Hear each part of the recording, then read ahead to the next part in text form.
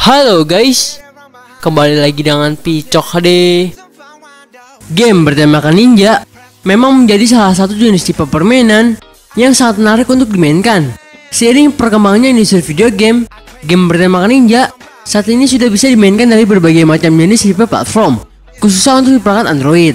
Nah, oleh karena itu, dalam kesempatan video kali ini, Picok HD akan merekomendasikan game Android bertemakan ninja serta memiliki fitur offline yang pastinya sangat layak untuk kalian mainkan. Karena Picok HD kan merekomendasikan berbagai macam tema game yang menarik untuk kalian mainkan di setiap minggunya. Oleh karena itu, untuk kalian yang belum menjadi subscriber kami, klik dulu tombol subscribe dan juga tombol loncengnya agar selalu mendapatkan informasi update seputar game dari kami. Dan berikut game Android offline Ninja terbaik 2019 versi Picok HD.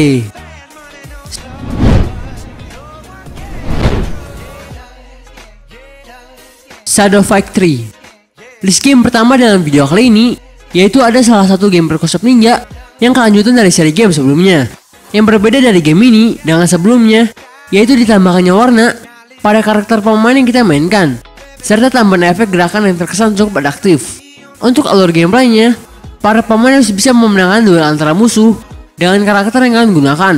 Serta game ini juga menyediakan berbagai macam jenis item yang berguna untuk menambahkan kesan seru di dalam alur permainannya.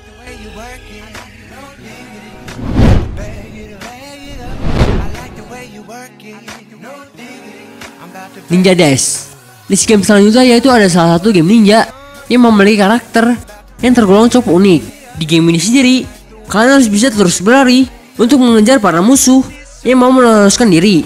Nah, oleh karena itu, para pemain harus bisa cekatan saat menyerang dan juga menangkis dari serangan balik musuhnya. Selain melawan para musuh, para pemain juga akan berhadapan langsung dengan para bos yang akan hadir di game ini. Serta game ini juga menyediakan berbagai macam variasi karakter yang bisa kalian temukan di game ini.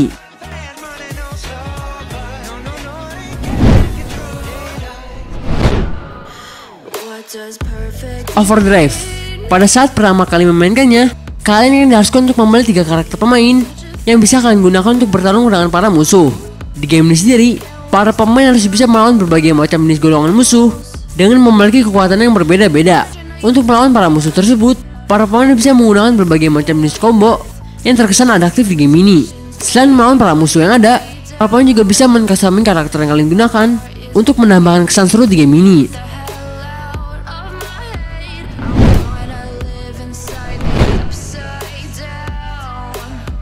Dead Ninja Mortal Shadow.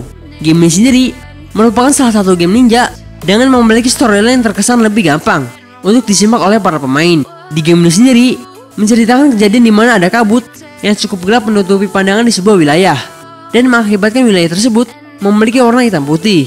Dan pada saat itu ada sekumpulan yang mau menyerang pemukiman di mana karakter yang kalian gunakan itu tinggal.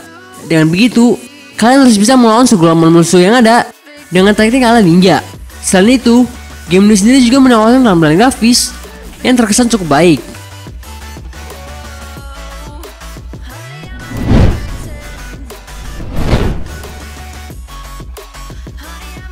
Ninjam dan jenis game terakhir dalam video kali ini yaitu ada salah satu jenis game yaitu ada salah satu game ninja dari bawah menuju ke atas dengan ditambahkannya unsur rintangan yang ada. Untuk alur gameplaynya, kalian harus bisa berlari sampai akhir yang sudah ditentukan.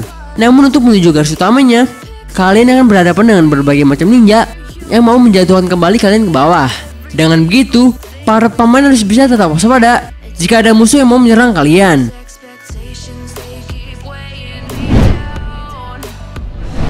Dan itulah yang game Android Offline Ninja terbaik versi kami yang sudah kami rekomendasikan untuk kalian mainkan.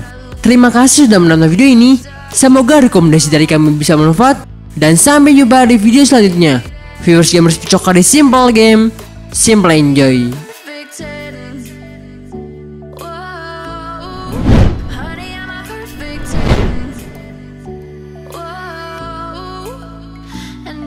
just